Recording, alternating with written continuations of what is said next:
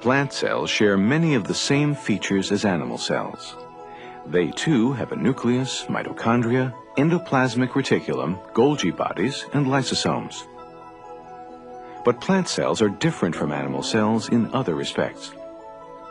Plant cells, like animal cells, have a cell membrane, but they also have a thick cell wall surrounding this membrane. Many plant cells also have large sacs called vacuoles. A vacuole contains fluid consisting of water, sugars, and other things. A vacuole full of fluid is like a balloon full of water and keeps a plant cell rigid.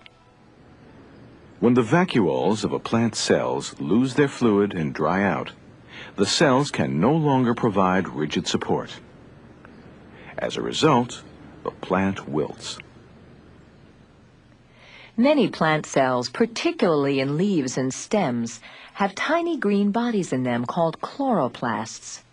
Chloroplasts make it possible for plants to manufacture their own food through photosynthesis.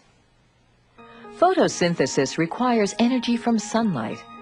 It also requires carbon dioxide gas from the atmosphere and water that for most plants comes from the soil.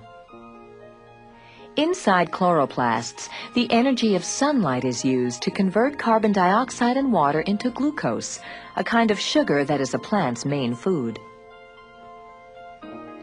In the process, oxygen gas also is produced.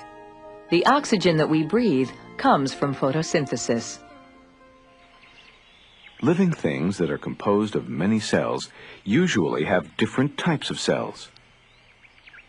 These have different designs that help them perform specific jobs.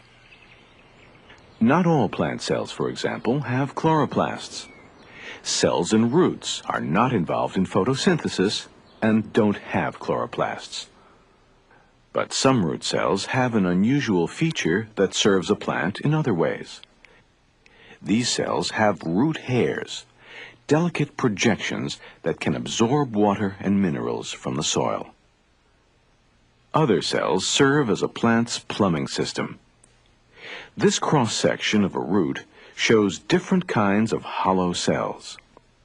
Phloem cells conduct glucose from the plant's leaves. Xylem cells conduct water from roots to other parts of the plant. A photograph taken with the help of an electron microscope shows how xylem cells have a tube-like shape that makes it easy for them to conduct water.